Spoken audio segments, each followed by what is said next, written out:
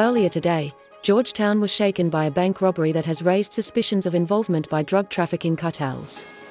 Local authorities are investigating potential ties between the heist and the escalating fentanyl crisis gripping the region. The robbery took place amidst growing concerns over the influence of cartels linked to the potent synthetic opioid.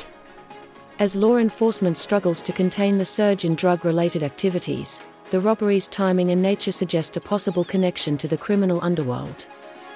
As of now, we haven't made any arrests, but we do have strong suspicions. We're looking into potential connections with drug trafficking cartels, especially with the ongoing fentanyl crisis at hand. Our team is dedicated to unravel this and we will keep you informed. Your cooperation matters, so please share any relevant information. Thank you.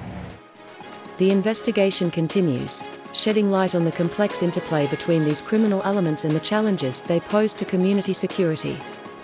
Stay tuned for further updates on this developing story.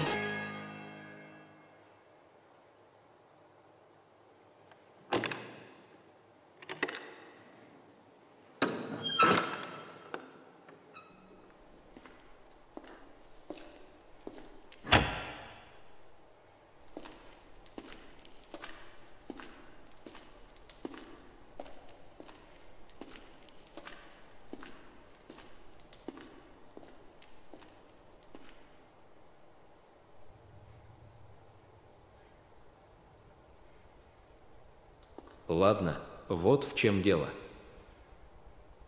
Либо ты расскажешь то, что мне нужно, либо тебе конец. Ты столько болтал до этого, а теперь молчишь. Ты слишком много знаешь, чтобы оставаться в живых.